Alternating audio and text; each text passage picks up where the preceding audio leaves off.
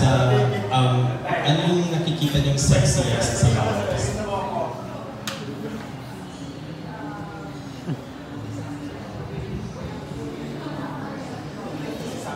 Um, physical, sa katawan ni Pepe, ito niya, may abs siya eh. Tsaka ang ganda ng arms niya. Toned siya. Mas maganda to eh. sa face, eyes. Sa, sa eyes. Na, nangungusap.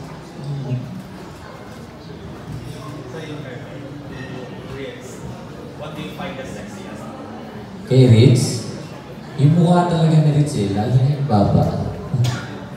Hindi kasi ako, hindi, oh, ano kasi, tawag dito, very feminine for me yung ah, feminine face na matulis yung chin. Yung... Hindi nga, seryoso. may ganun ako, may, may, may ganun akong sarili yung view.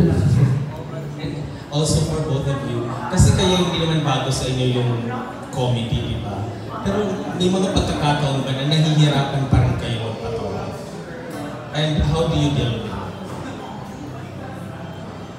Ako, ah, minsan nagiging mahirap siguro kung ah, hindi swak yung batuhan.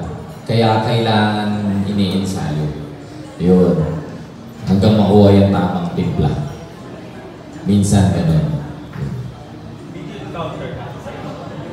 Movie na to, na-encounter mo?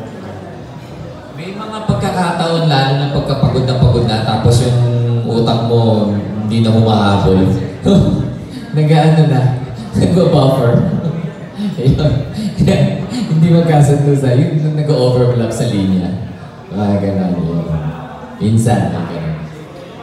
na. Yung mga accident. Para sa amin lang. So, kailangan ulit.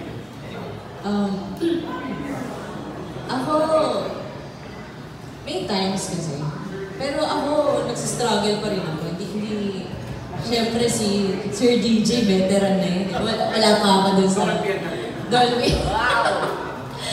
ako nagsistruggle pa ako kung tutuusin. Kasi hindi to yung, hindi ako sanay dito eh. May background ako, pero unlike drama, madali ko siyang nakabisa. Itong comedy mahirap kasi depende sa audience mo, eh, depende sa kausap mo. Kailangan kilala mo rin kung sinong kausap mo. Kaya sobrang iniidolo ko yung mga stand-up comedian. Kasi binabagay kasi yun eh. At ngayon, medyo kinakabahan ako kasi comedy rin ang dala ng movie namin kung paano siya tatanggapin ng mga tao. Pero nakaka tumataas yung confidence ko kasi alam namin, ginawa namin yung best namin.